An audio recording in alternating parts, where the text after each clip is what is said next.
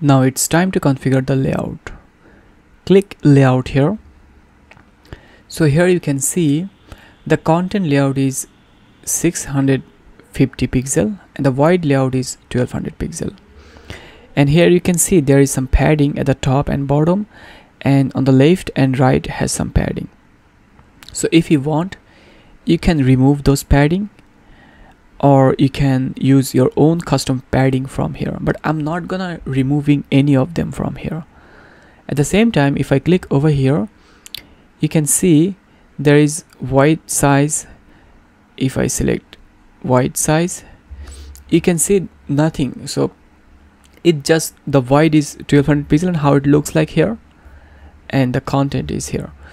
So I will explain you the content and the wide later on when we are gonna creating the page. And there is nothing to share here but except there is one important things. Inside blocks. So basically customize the appearance of specific blocks for whole website which is really helpful. Let's take a look at our design. So let's say for an example we are gonna use our button here globally.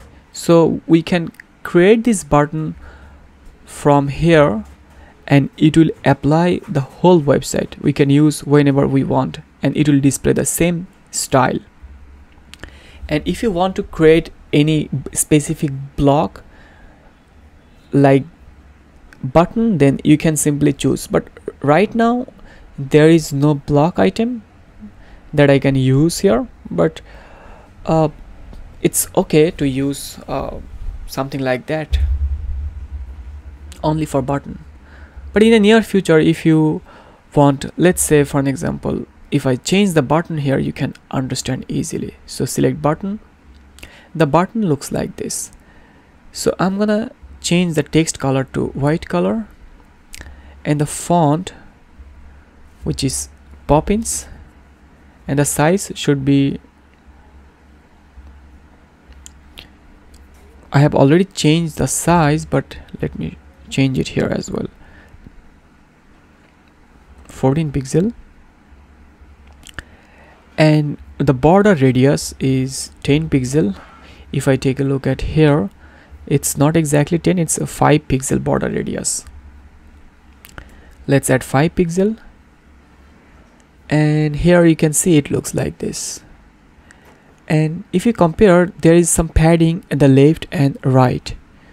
Let's configure the padding. So this is the padding for left and right. Let's increase a little bit. And see it looks perfect now. So we are done with the button here.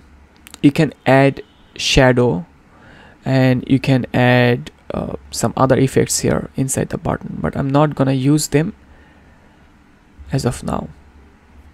The button looks very simple. Click save change.